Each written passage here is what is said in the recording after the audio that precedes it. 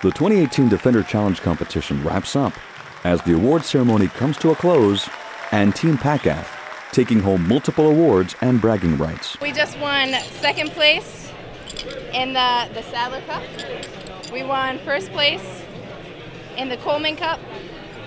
And we won first place overall, team champs. And while competitors had three days to compete, this event took almost a year to plan. It all started off with a really core, small core planning staff of about 10 individuals putting our noggins together, coming up with what we're going to actually execute. Over the last year, the Air Force Installation and Mission Support Center and the Air Force Security Forces Center had to figure out every last detail, from developing the events to selecting the right terrain to securing the right resources.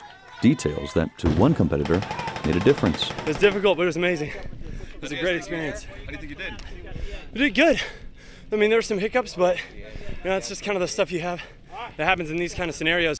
Brigadier General Tullos, she's the top cop in the Air Force. This was her vision. You know, we're her backbench, we're reach back, and the Security Forces Center came together to support her vision, working with her staff. They couldn't have done it without the Security Forces Center, but that's our job. You know, we roll in and, we and we bring these kind of things to life. For the Air Force Installation and Mission Support Center, I'm James Truitt.